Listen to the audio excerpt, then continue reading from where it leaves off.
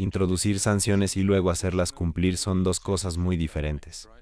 Una opción sería, por ejemplo, que aprueben estas sanciones para enviar el mensaje de que intentan restringir los ingresos petroleros de Irán como medida de apoyo a Israel.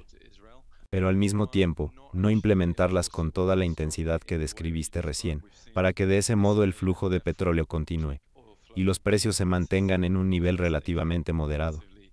Pero creo que esa es una de las pocas medidas que hemos visto hasta ahora donde parece que se tiende a expandirlas a otras áreas. El petróleo sin duda entra en esa categoría. Del mismo modo, en la Unión Europea vemos que varios países pertenecientes al G7 estaban contemplando la posibilidad de imponer sanciones a la Compañía Aérea Nacional de Irán, conocida como Iran Air. Eso también me parece sumamente simbólico. Creo que es una señal de cómo el alcance de las sanciones se va ampliando.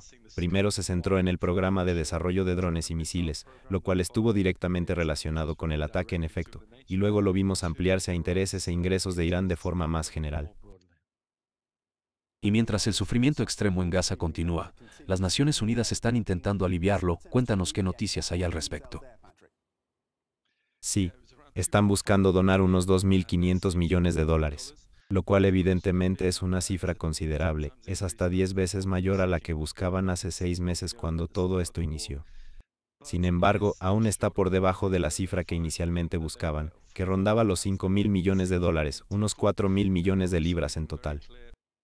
Además está quedando en claro que lo que en realidad tienen la capacidad de entregar de forma efectiva, se encuentra extremadamente limitado debido a las restricciones operacionales que hay en la región. Creo que para lograr un impacto realmente sustancial, no solo basta con superar los obstáculos actuales para ingresar la asistencia y despejar los retrasos para luego distribuir ayuda dentro de Gaza.